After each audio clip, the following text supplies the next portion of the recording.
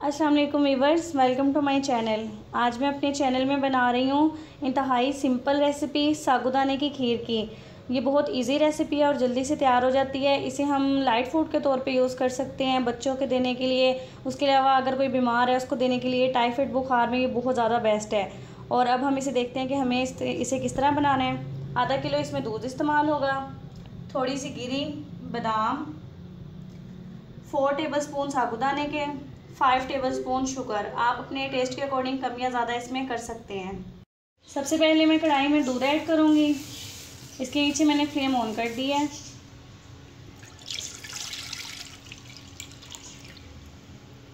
जब दूध हमारा अच्छे से बॉईल हो जाएगा तो हम इसके अंदर साबुदाना ऐड कर देंगे। दूध बॉईल हो गया हमारा। अब हम इसके अंदर साबुदाना ऐड कर देंगे। और साबुदाना ऐड करने के बाद इसे अच्छे से हम मिक्स कर लेंगे।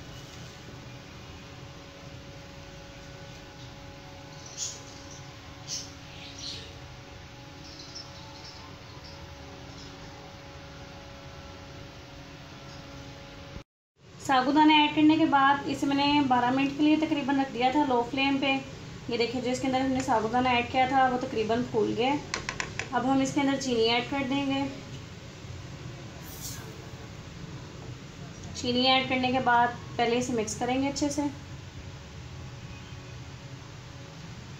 अगर आपको मीठा ज़्यादा पसंद है तो आप इसमें ज़्यादा यूज़ कर सकते हैं।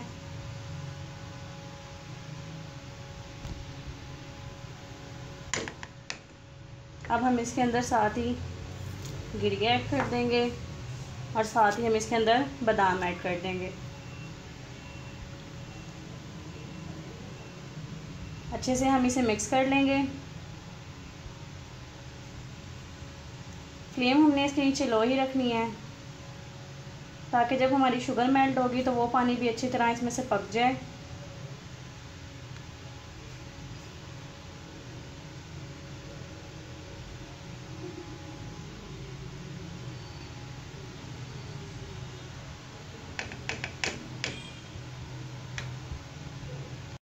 चीज़ें ऐड करने के बाद इसे मैंने दो मिनट के लिए मज़ीद रख दिया था। पहले मैंने इसके नीचे जो फ्लेम थी वो लो रखी हुई थी, अब मैंने थोड़ी सी मीडियम कर दी है।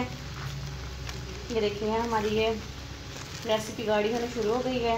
तकरीबन जब ये बन के तैयार हो जाएगा। ये देखिए अच्छे से गाढ़ा हो गया। अब हम इसके नीचे फ्लेम बंद कर देंगे और इसे मैं प्लेट में निकाल लूँगी। अब मैं इसे प्लेट में निकाल लूँगी।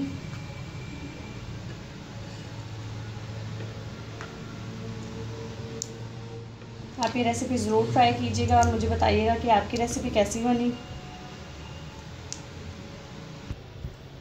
सो वीवर्स हमारी साबुदाने की खीर की रेसिपी बन के तैयार है। इसके ऊपर मैंने थोड़े से बादाम ऐड किए हैं अगेन कट करके।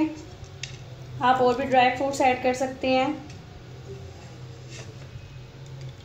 आप इस रेसिपी को ज़रूर ट्राई कीजिएगा और अगर आपको मेरी ये वीडियो पसंद आए तो इसे लाइक करें, इसे शेयर करें, ज़्यादा से ज़्यादा अपने फ्रेंड्स के साथ और अपने रिलेटिव्स के साथ और मेरे चैनल को सब्सक्राइब करना मत भूलें। अल्लाह हाफिज़।